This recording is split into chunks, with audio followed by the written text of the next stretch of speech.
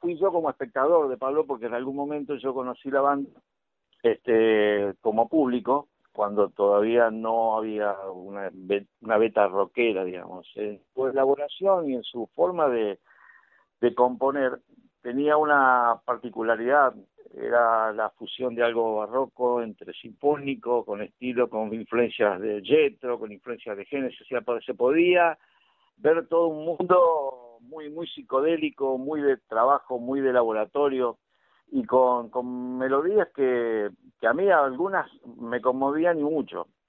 eh, eh, eso cuando pertenecí a la banda, cuando me incorporé en la banda, lo seguí sintiendo, eso es lo que siempre nos alimentó para poder seguir ensayando, porque no se trataba, como te decía, en una carga de ir a, oh, tengo que ensayar, oh, era, por suerte hoy tengo ensayo, esa onda, ¿me entendés? Como quien se disfrutar un momento en la actividad que sea, ¿eh? deportiva, musical, lo que sea, pero era un momento a disfrutar.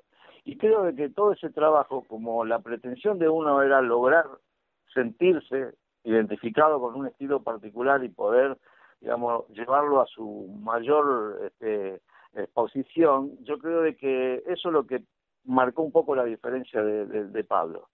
Había este, por parte de los tecladistas un, un, una inspiración muy importante. Porque la emotividad, por ahí como que puede llegar a resumir un poco la, la, la, la diferencia, quizá, o lo que tiene a favor la banda. Eh, el poder de conmoción, de conmover, de, digamos, de tener melodías o, o, o, o, frases que tocan quizá una parte no de la sensibilidad a la gente